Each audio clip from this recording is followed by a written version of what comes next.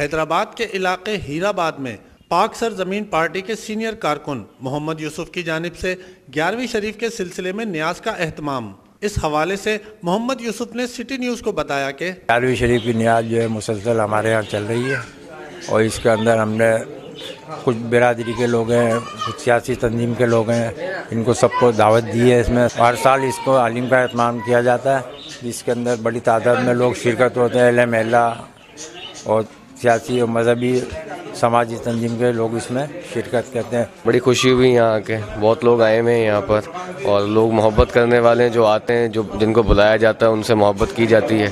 تو ایسے چلتے چھوٹی چھوٹی خوشیاں ہوتی ہیں۔ ہمارے مذہب کی تہوار جو یہ چھوٹے موٹے آتے ہیں، تو اس کو ہمیں سیلیبریٹ کرنا چاہیے۔ تو میں ان کو اپریشیٹ کرتا ہوں یوسف بھائی کو کہ انہوں نے جو ہے یہاں پہ چھوٹ اپنے گھر میں بہت بڑی سی محفل سجا لی ہے۔ نیاز میں پی ایس پی کے سینئر کارکنان ضلع قیادت اور دیگر عمائدین شہر نے شرکت کی۔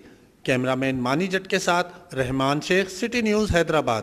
ہم لاتے ہیں ٹاپ نیوز آپ کے فیوریٹ ٹاک شوز اور ان لمیٹڈ انٹرٹینمنٹ صرف یوٹیوب پر۔ اگر آپ نے ابھی تک ہمارا چینل سبسکرائب نہیں کیا تو ابھی سبسکرائب کریں۔ اور بیل آئیکن کو کلک کر کے ہماری لیٹسٹ ویڈیوز کے بارے میں اپڈیٹ جانیں۔